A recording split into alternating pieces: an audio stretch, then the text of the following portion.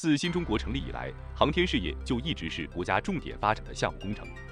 经过半个多世纪以来的发展，中国的航天事业就像火箭般腾空而起，取得了大量的科技成果。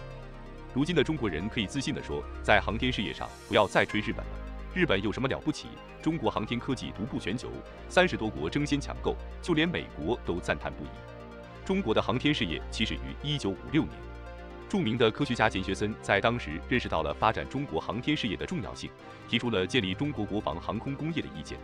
钱学森的意见得到了国家和人们的重视。在同年四月，中国航空工业委员会成立。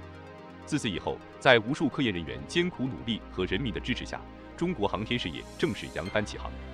一九七零年，中国发射了第一颗人造卫星“东方红一号”，这是中国航天事业取得的第一个重大成功，鼓舞了人们对航天事业发展的信心，也激发着国人对于进一步探索太空的愿望。经过了不懈努力，中国在迈入新世纪之初，成功的发射了神舟系列载人飞船，实现了中华民族几千年来的飞天愿望，是中国航天事业在二十一世纪新的里程碑。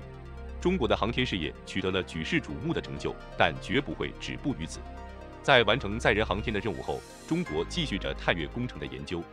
经过了数十载的艰辛研究，在突破了大量具有自主产权的核心技术下，2007年，嫦娥一号的发射取得了圆满成功。中国正式从航天大国迈向了航天强国，成为了世界为数不多能进行深空探测的国家。2020年，北斗卫星导航系统最后一颗卫星升空。中国自主研发的北斗卫星导航系统宣告成熟。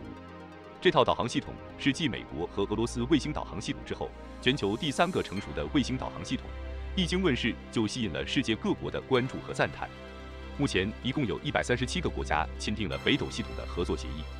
这正是近年来中国航天事业领先世界的又一有力证明。中国航天科技事业事关科学研究水平、国防安全、经济社会发展、人民生产生活各个方面。中国在航天上的成果，正反映了中国不断强大的综合国力和科技竞争力。在如今的世界上，先进科技不再是西方国家的代名词，中国正引领着世界航天科技的发展方向。相信在不远的将来，中国会不负众望，再度获得耀眼的航天成就。